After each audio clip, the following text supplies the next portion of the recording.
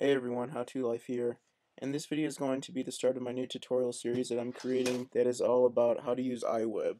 So I'll first start off by opening iWeb.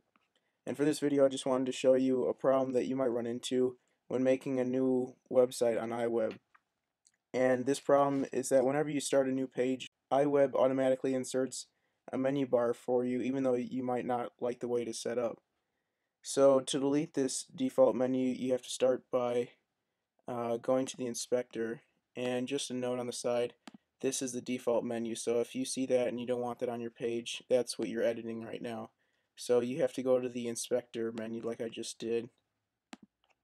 And then you have to go to this uh, page inspector on the far left.